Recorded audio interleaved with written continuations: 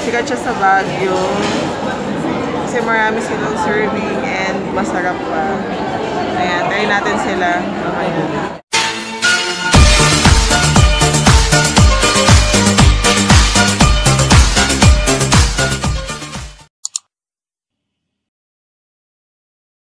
Kali Rice! Welcome back to my channel. Andito kami Good Taste ng Baguio City. Ayan. Dito tayo kakain ng dinner. Isa sa mga side trip natin.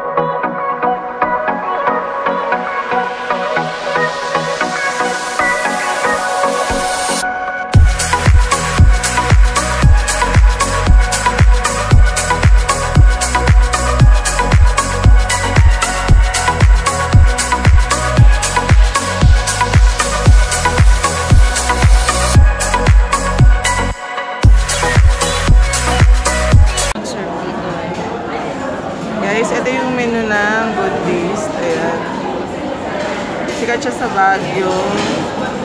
Kasi marami silang serving and masarap pa. Ayan, try natin sila. Okay.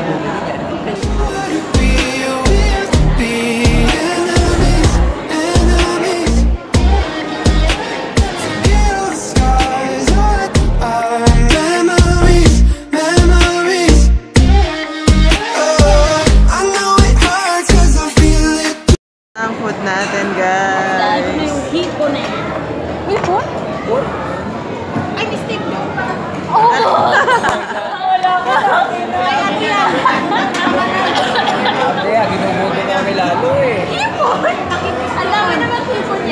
My God. Gusto niyo mag-share? Ready naman kami. One and a half. Up to ate. Yan. Ayan yung bag. Thank you, ate. Ay, baad daw siya ng Sandy Cup. Magkano yun?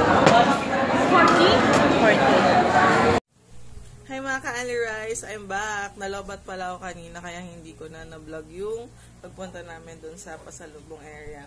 Ayan, i-haul ko na lang yung mga nabili kong pasalubong. Ayan, sorry sa background. Kasi kadarating ko lang talaga. Okay, ang una is yung t-shirt. Ayan, Mount Pulag t-shirt. Ito nabili ko to sa D DNR Ambangeg. Ayan, sa Benguet. Dalawa sila. Tapos, meron pang isa. I survive Mount Pulag. Ayan. Tapos, tapos, um, strawberry jam from Baguio. Ayan. Ano? Ito na sila. Ayan. And then, lengua. Ito naman, 6 for 100. Lengua, tapos choco Pringles. Ayan. Ito yung lengua, guys. Okay, next. Ubi jam. Ayan. From Good Shepherd. Mm. Next, ito nga yung choco Pringles, guys. Ayan. Ganito yung choco Pringles.